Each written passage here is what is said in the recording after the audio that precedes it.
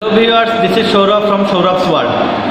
বিদেশ গমন, চাকরি, সরকারি চাকরি এবং বিদেশে কর্মক্ষেত্রে যাওয়ার জন্য পুলিশ ক্লিয়ারেন্স একটি অত্যন্ত গুরুত্বপূর্ণ শব্দ।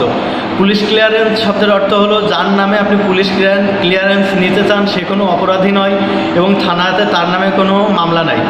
তো আজকে আমি আপনাদের সামনে আলোচনা করব পুলিশ ক্লিয়ারেন্স কীভাবে নেবেন এবং এর জন্য কী কী ডকুমেন্ট প্রয়োজন।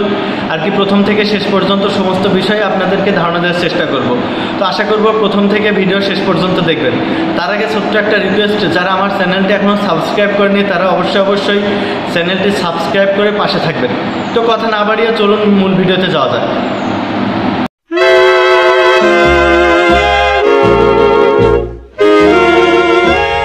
পুলিশ ক্লিয়ারেন্সের জন্য যে আবেদনটা করবেন, সেটা এখন অনলাইনে সম্ভব। অনলাইনে আপনি পুলিশের যে আর ক্লিয়ারেন্স যে ওয়েবসাইট আছে, সেখানে প্রবেশ করবেন। যদি সম্ভব হয়, তাহলে আমি ডিসক্রিপশন বক্সে পুলিশ ক্লিয়ারেন্স আবেদন করার জন্য যে লিঙ্কটা, সেটা দিয়ে দিব।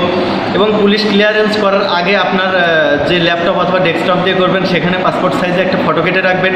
এবং আপনার যে পাসপোর্টটি আছে, সেই পাসপোর্টটি আপনার তথ্যপাতা গেজেটেড কর্মকর্তাদের দ্বারা সত্যায়িত করে একটা আর কি ফটোকপি ওটা আর কি স্ক্যান করে রেখে দিবেন।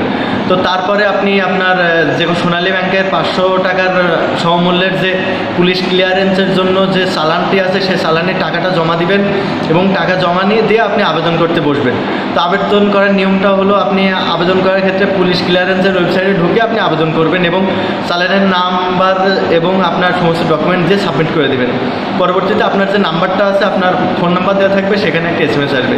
এবং যারা বিদেশে আছেন, বিদেশে থেকে থাকাকালীন যাদের আর কি পুলিশ ক্লিয়ারেন্সের প্রয়োজন হচ্ছে, সেক্ষেত্রে তারা কি করবেন? যেই দেশে আছেন, সেই দেশে বাংলাদেশ দূতাবাসে আপনাকে যোগাযোগ করতে হবে এবং আপনার পাসপোর্ট নিয়ে আপনি বাংলাদেশ দূতাবাসে যাবেন এবং বাংলাদেশ দূতাবাসের যে হাই কমিশনার, তার সত্যায়িত আর কি করার একটা ডকুমেন্ট লাগবে এবং সেখান থেকে বাংলাদেশের সিস্টেম করে আর কি বাংলাদেশ থেকে তাদেরকে পুলিশ ক্লিয়ারেন্স দেওয়া হবে। এই ছিল বিদেশে কর্মরত যারা আছেন, তাদের পুলিশ ক্লিয়ারেন্সের বিষয় এবং বাংলাদেশের যারা অবস্থান করছেন, তাদের পুলিশ ক্লিয়ারেন্সের বিষয়। তো আশা করি ভিডিওটি দেখে বুঝতে পারছেন, কোনো বিষয় বোঝার বাকি থাকলে অবশ্যই কমেন্ট করে বুঝে নিতে পারেন।